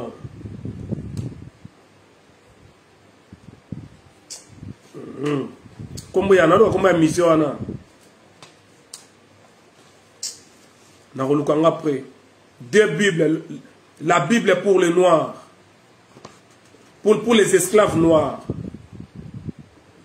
eza na états-unis tikalaka deux sur 100 000 exemplaires baretira retira yango bazwa 90 pourcent na yango basala bible ya lelo mpo na kosepelisa bino mpo na ke okoma chrétien mais ose révolte te c'est-à-dire okomi chrétien otikali toujours esclave efreine yo otikali na position wana voilà parce que oyo eza important fo oyeba na vie na vie ya motu nyonso ebandaka na pensée pensée soki ekoli ekomaka maloba maloba soki ewumeli ekomaka ezwaka energie energie wana esesanzaka na baarte baarte wana yango ekomaka soki baarte soki ese repete ekomi nature ya motu gabriel makonda abi musée of the bible washington dc merci au moins bato bazolanda biso baza partout soki nakosaki bandeko banga batémoigne merci gabriel makonda nabandeli citation moko to comprendre na vie ya motu peut alobi okomi esclave okufi esclave mbula oyo akosala eza ya baesclave okovivre esclave Tout commence par une pensée.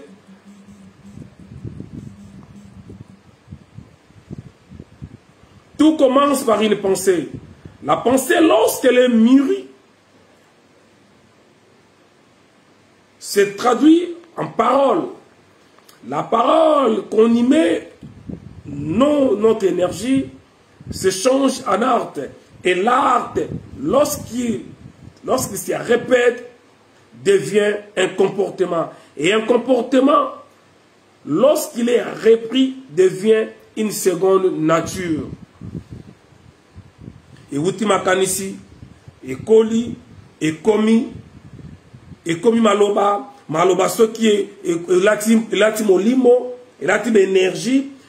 ekomaka ba art ba art soki ewumeli ekomi ba comportement comportement soki ewumeli ekomi nature na yo c'est exactement ça les religions keba na makanisi makanisi ezalaka nzoto makanisi ezalaka na maboko makanisi ezalaka na mutu makanisi azalaka na misu makanisi azalaka na sexe waiza makanisi ezala na sexe oui madame makanisi azalaka na makolo makanisi azalaka na libumu makanisi mpe ayokaka nzala nyonso nazoloba nakoki koprouve yango noir sur blanc epuis okoyebisa nga wi aza na raison yo moko oyebi yango me mpo bafongola oke ezalaka ndenge wana clotide majela mbala merci beaucoup mambuta makanisi wi makanisi eyokaka nzala makanisi azala na munoko makanisi mpe alobaka na peso exemple bino lokola bolingaka bible ya mingi mpo bokima mateya te nazongisa bino mwa ndambo na bible mpo boyoka yango bien pourquoi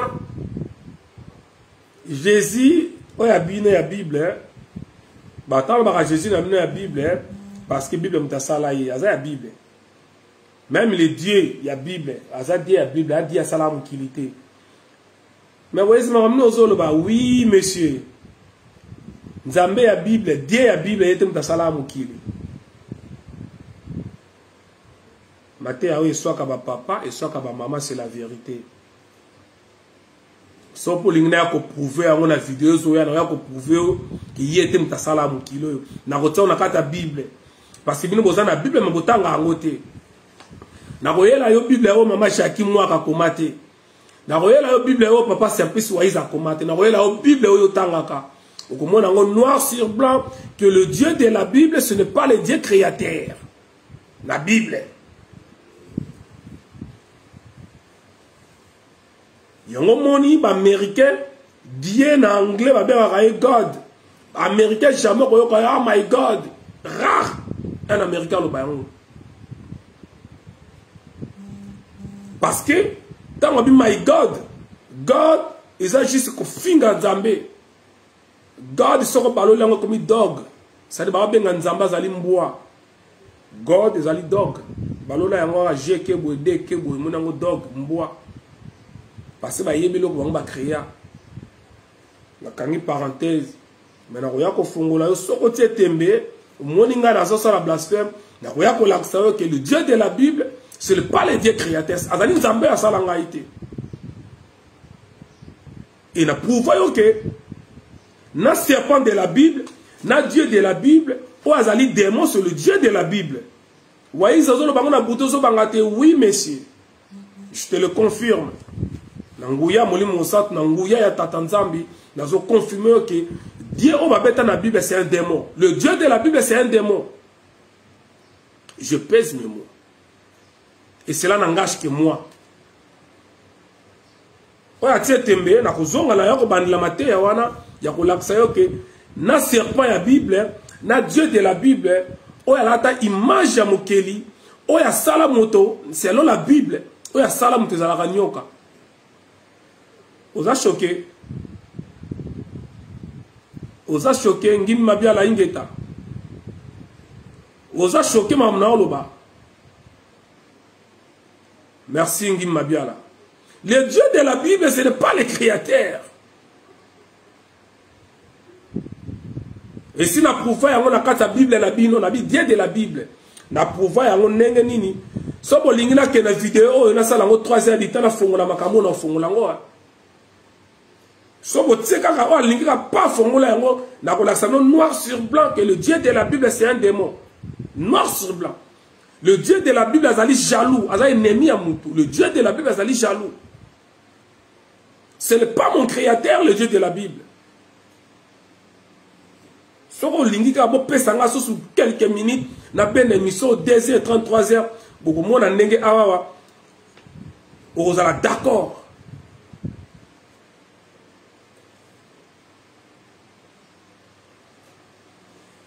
voilà ozala d'accord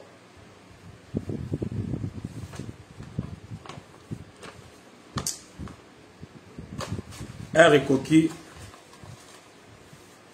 mpe toabi panza sipu mpe toleka bayiza sipu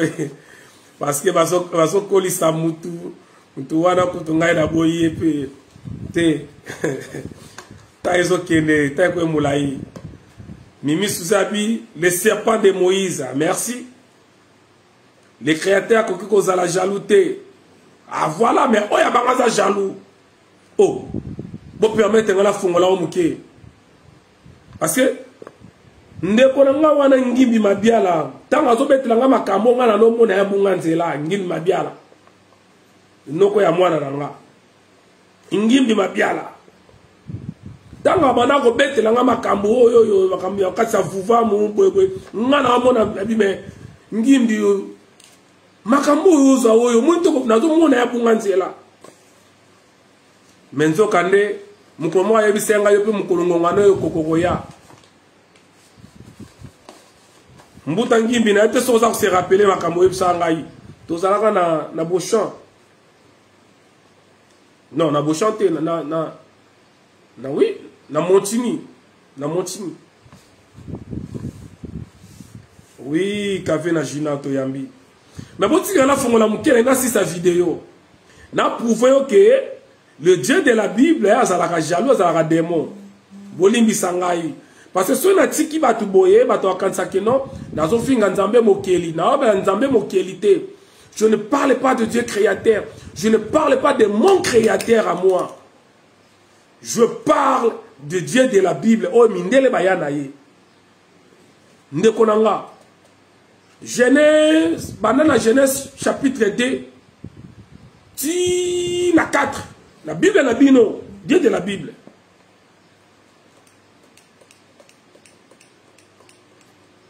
na fongola eloko wana naokanga awa nani asala likolo na se biloko nyonso eza na biso bato papa tobengi nzambe na kikongo mfumu etu mm, ingeta ngi mabe la vie ezalaki na ndako na yo na ville 9 saint georges oh là là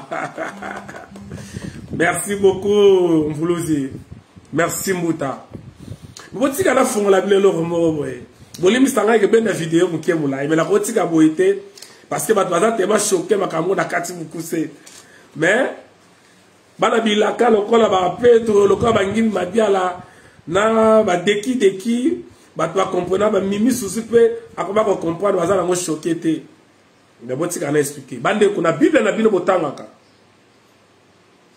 bayebisaka bino ke nabaka moke moke lobi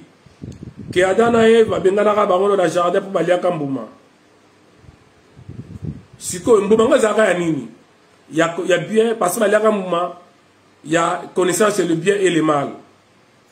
donc lisumu ya ada na eve selon oyo bateyaka bino nayebi ke eza yango wana nanu kaka eza kaka yango te do yo oboti mwana na yo olingi mwana na yo ademere inconscient ignorant esika yo tie na mokili mama nini yango akolinga aboti mwana na ye mwana na ye azala zoba mwana na azala mayele te bereli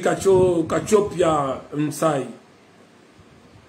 balobi ke babengani adam na e parce que baliaka mbuma ya,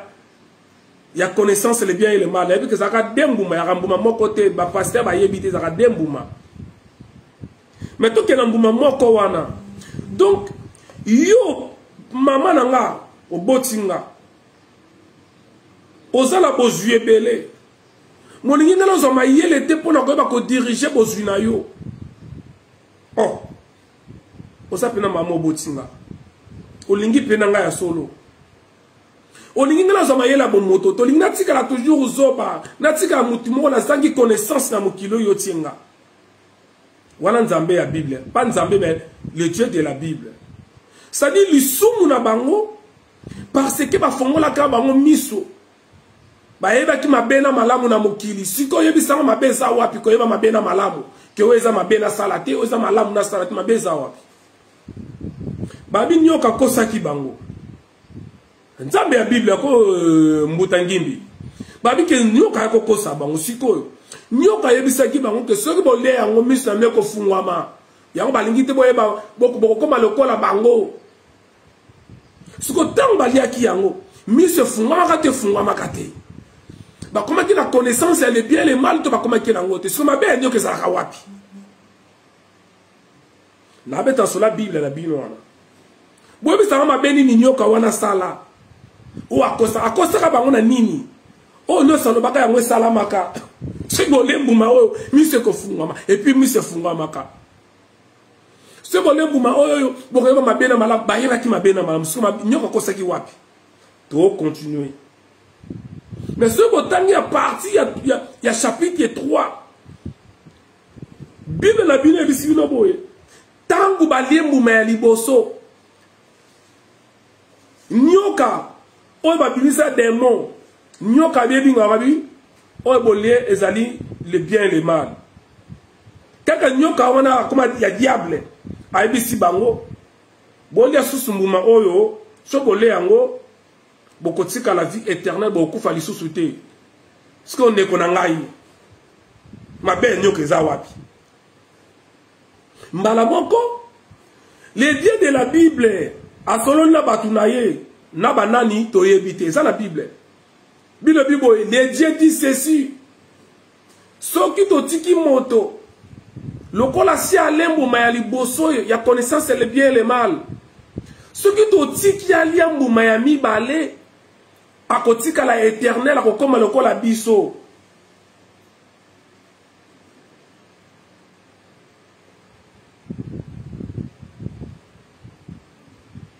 oyo naoloba oyo oyo papa na ngai te moto akomaki yango parce que bino botangaka te bayebisaka ada na eve abenganaka mpo baliaka mbuma bino ah, yango mbuma ngo nini yango baliaka bokoma koluka mbuma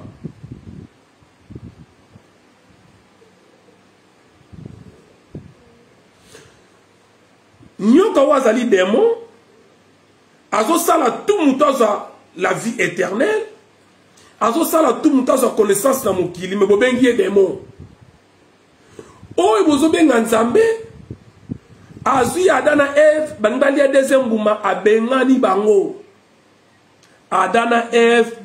na bible babengana bango kaka parce que balingaki kolia mbuma oyo ekotikala ke batikala éternel na mokili oyo lisumu na bango yango wana voilà la raison bachassa ada na eve na jardin d'eden parce que balingaki kolia mbuma oyo la vie et la donc ya vie éternelle e bible na bino ebi ke ntango basali ndenge wana nzambe asaleli bango elamba ya poso elamba ya poso babi poso ya nyama te c'est-à-dire bazalaka na nzoto nini ya bible yo otangaka ntango basali bango elamba ya poso poso botanga yango tanga yango parti chapitre 2 3 4 parce que masolo okala bwana obangisa biso bayiza tika koloba boye kokufa okobela liboma arrete kobanga wana esi elongwa nakolala pongi pete pose kutu ya kosakana te lobi na ntongo nake kayu na nga mateya ya kobanga wana fo esila donc nzambe le dieu de la bible yo osali mutu olingi talia mbuma ya liboso ya connaissance le bien et le mal ntango alia yango osiliki ono oh, nyoka lokola yo okosi eh, okosi moto okoba lotambola na, na, na, na, na, na libumu ololiaka oh, mabele o oh, akosaki motu wapi boyebisa nga lokuta ezalaki wapi lokuta eza wapi miso na bino kofungama efungamaki bokoma na connaissance elebia elemali bakomaki nango soki akosaki bango wapi ayebisi bango so bolia mibale bokotikala bokoma bozala éternel bokoma lokola bango lokola biso bokufa lisusu te akosaki wana o oh, kobanda lelo obanda kotambola na libumu donc nyoka anotambola liboso na makolo hein? azala na makolo nyoka ya liboso aka na makolo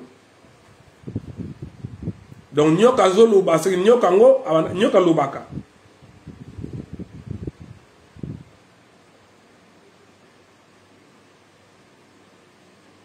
wana eza makambo ya molimo kave na jinabi toyabi eh, wana eza makambo ya molimo a ah.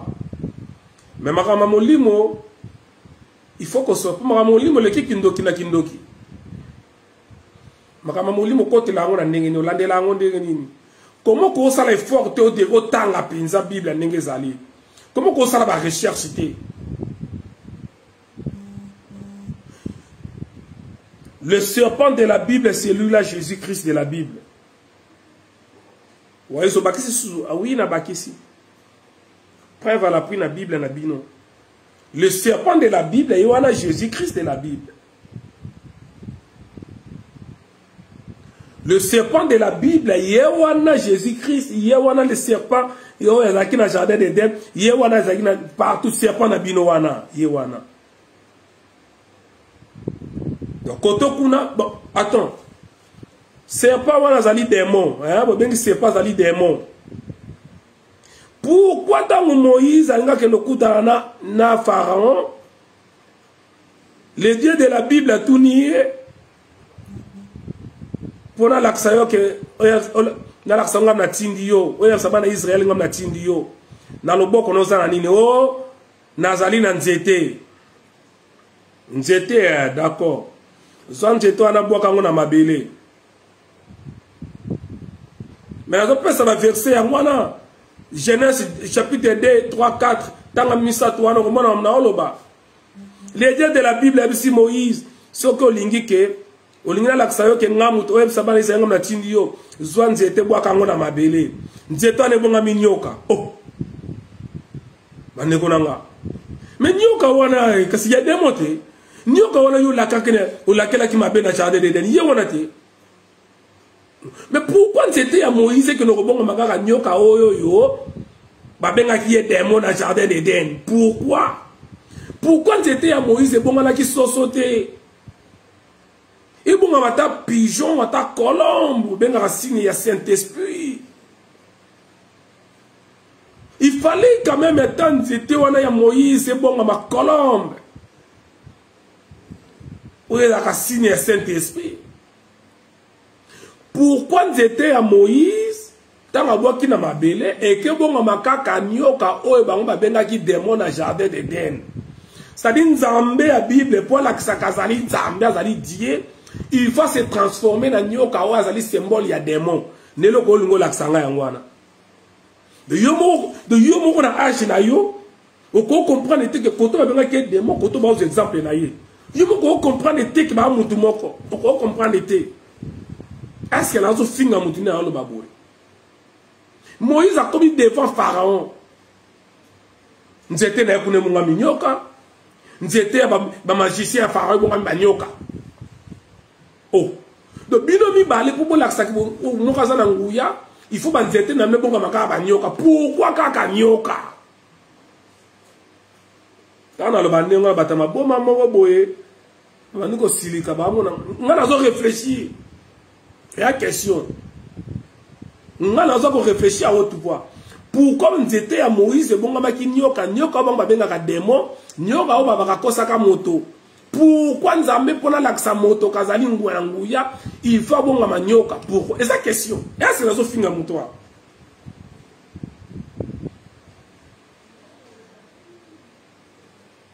beli kacha babisi ngai lobela passage oyo elobaka satan akulumaka lokola lokola lion mpo na kolia bato or jésus aloba aza lion de juda voilà eza na bible bible elobi ye eh, berila leo azoloba boye eh. bible elobi boye eh. malheur à la terre parce que le diable est descendu comme un lion il cherche à dévorer azoluka dévorer bible bible ekoloba lisusu jésus christ le lion de shida quelle sorte à peuple oh, okay. donc satan wana satan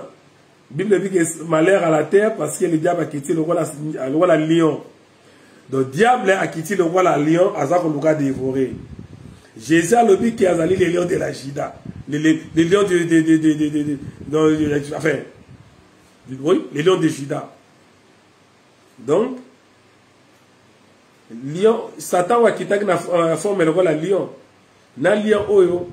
oyo jesus abengami aza lion seke satan ye wana jésus c'est simple na mathématique a égale b b égale c donc a égale c alisi ko namonaki question to bini ntina pas répondre à ma question mon frère tamoni question te bandela kokoma yango natanga na, na, na, na répéter natala yango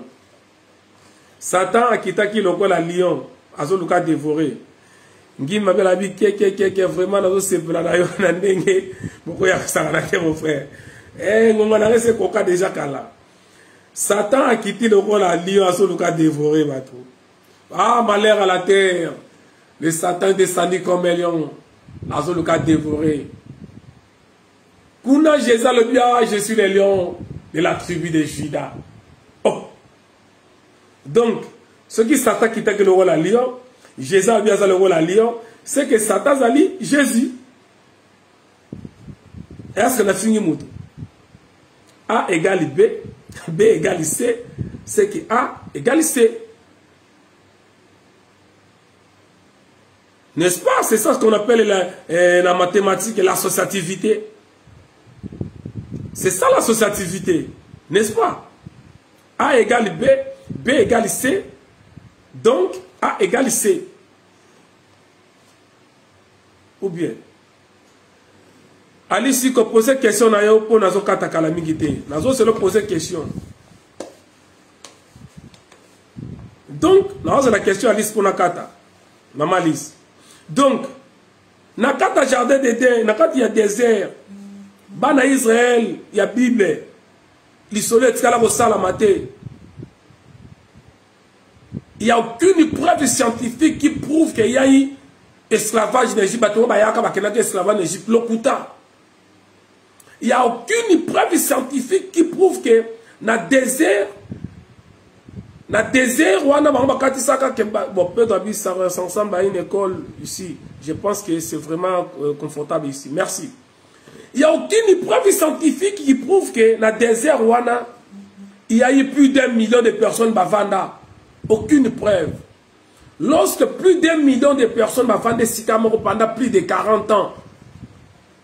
obligatoirement il faut batika batrace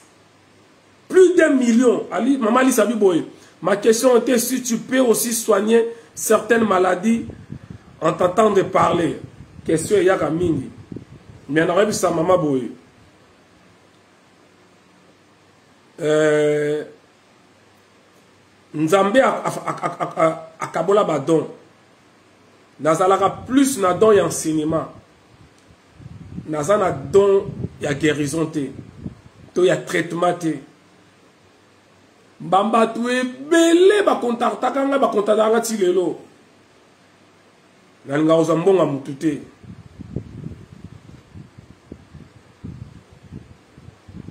mabe ya nzambe abengani bango kuna bakendeki mpema bazalaki kopema ezalaki ya nani mabele ezalaki ya nani merci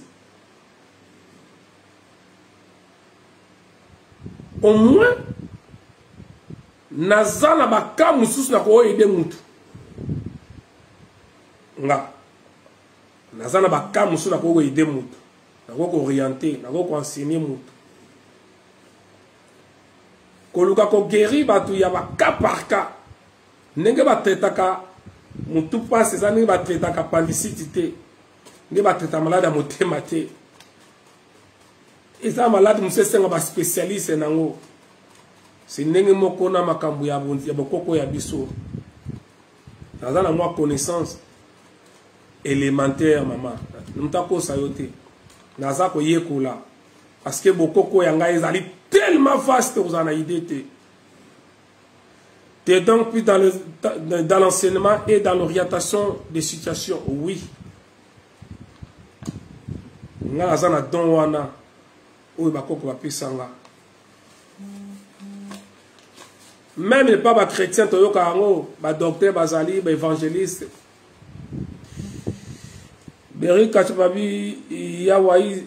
Yawaïs a prophète, eh, aloba biso nde vrai bana ya Israël, pour Israël na Kikongo, eza isolele, c'est-à-dire les élus. Or, bandundu wana, balobaka baza peuple élu, ça, euh, sans preuve, or eza Kongo nde ba isolele. Ouais, na 600 te mais isolele yango wana israel isolele esi na explika makambo ba juif bantu donc mpo na korépondre naza plus na baenseignement naza plus kooriente bato or même mpo na kotraite motu fozala na connaissance na lelo naza na certain problème naza na façon ya kotraite yango oyo ezali ba élémentaire alisi kabi bravo t'es intelligent que dieu te comble de toutes les bénédictions nous t'aimons énormément merci mama alice donc eza na makambo na koki kooriente yo mpe ozweli yango mpe solution me koloba kotraite bato proprement eza na bato na yango nakoki koloba te nazwa place wana bakoko bapesa ngai yango te wana nakokoma escro nakomoyiba bato nakolia bato bambongo bato ebele bayelaka bambongo ya ndenge wana so na ngai nazala moto nazala lokosa mbongo nde naliaka bambongo bato ebele mais eza ya bakoko nde bapesa ngai na ngai nasisi eloko nabaki na ebaneli nazoswana mama moko boye lelo mama na ngai brigite brigite ntete tozosolola na ye alobi no ye kuta aza mwana nsuka boyeboye ntango ya kala bana nsuka bazokanga bambula lelo bakangaka su bamvula te wi biloko wana esila me maintenant boyebi ntango bakangaka mvula eza na eloko moko esalamaka wana lelo ekoma bafranc maçon ese boyebi yango nga mpe na découvrir yango lelo nga mpe bakoko barevele ngango lelo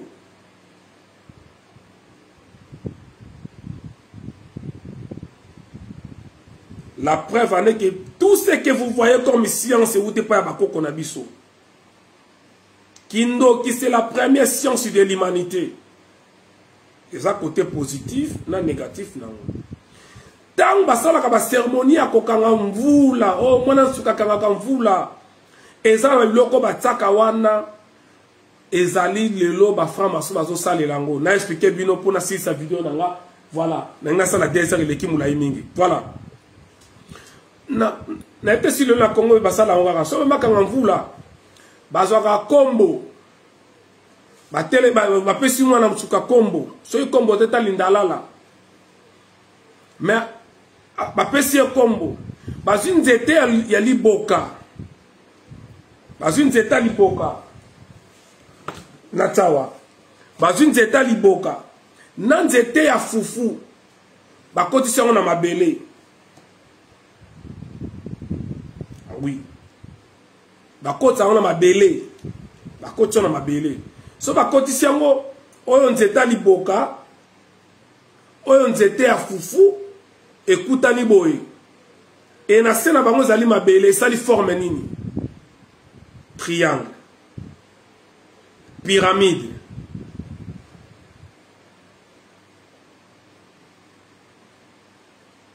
e na sommet ya pyramide edegagaka toujours baénergie moko ya kosakana te likolo ya montagne nyonso eza na baénergie moko ya makasi oyo bakenda kosambela na mangengenge bayebi energie ezalaka kuna te mpo na kokanga mvula bazwi nzete ya fufu bazwi nzete ya liboka bakota yango na mabele pourkui na mabele parce que mabele ezali moko ya baelema ya nzambe eko oyo ekoti na mabele oyo ekoti na mabele ekutani boye ata ekutani boye ata ekutani boye ete boye ezalaka toujours na forme ya triangle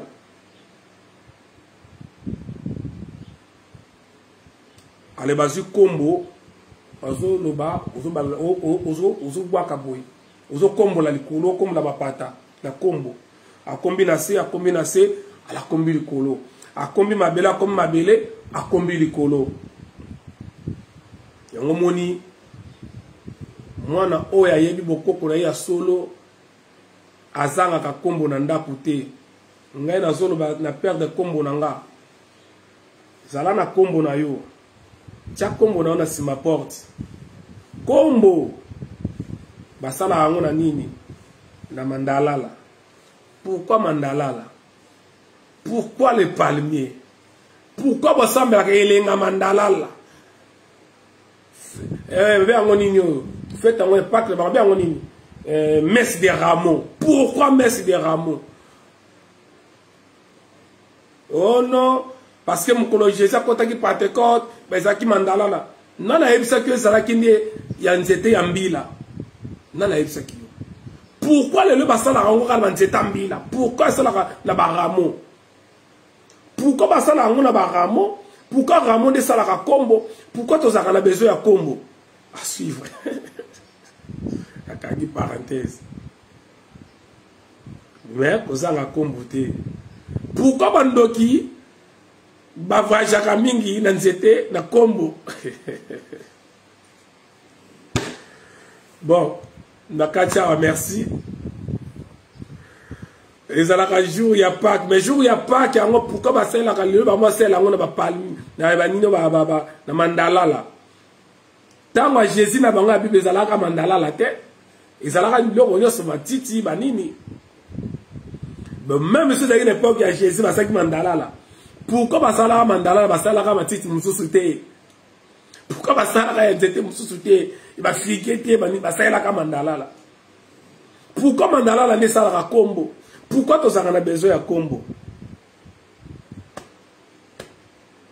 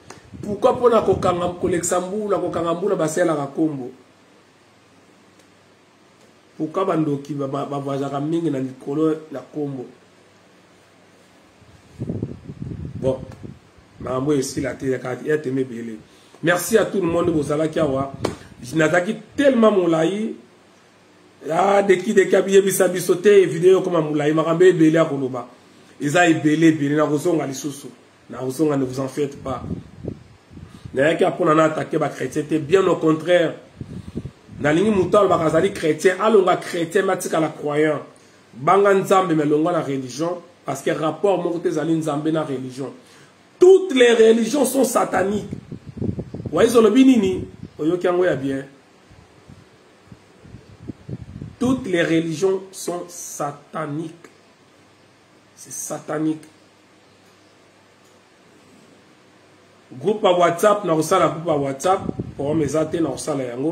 me makambo eleka ebele naa so na 80 groupe ya whatsapp elekaka deja ebele na kobongisa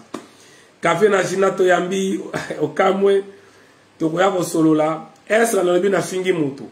nafingi motu te tobanga nzambe kobanga moto ya mokili te longola kobanga dema moko ntango ya kokanga yo tika kosambela avant olala okomona kimia tika kosambela alboye okomona kimia tika kobondela pardon sambelaka citation nyonso ekoyela yo bible elobi oyo otangaka na bible na yo bayebisi bino nzambe azoyebisa nzambe ya bible azoyebisa jérémie invoque moi je te répondrai kavela jina bi oui ofingi eske nafingi moto awa tika nzambe ya bakoka azala na yo ngima biala bina aza na mposa tosala emission na yo mbuta nazali dispo mpo na bakoko na ngai naza dispo programme moko ezali yaya ya kimpa vita ekozala na vitri je crois le 3 ou le 10 nakozonga kalamiti napesa bino programme yango nakobengisa bato bakende kuna bien ke ngai nazali organisateur te namonaka batindelaki ngai yango mais lokola eza makambo ezolobela makambo ya ya ya kimpa vita ya ya ya vita kimpa nakobengisa bandeko baya tokutana alors prochaine euh, à la prochaine tu étais trop long voilà merci beaucoup nazalaki vraiment trop long parce que baquestion elekaki mingi tokutani mbala nsima bakoko bazala na bino ingeta désolé parce que c'était trop long ingeta baquestion tobengani tokorépondre ingeta